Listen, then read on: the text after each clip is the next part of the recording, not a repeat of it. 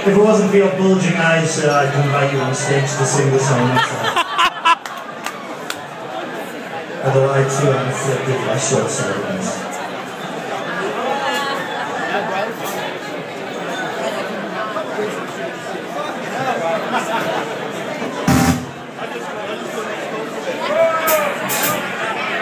That was the keyboard's way of saying hello. Did somebody say hello in a joke Chinese way at the front? Team America would be proud, my friend.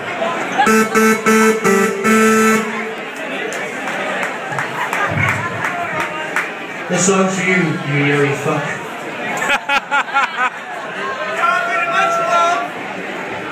My friend, you're sexy beyond measure.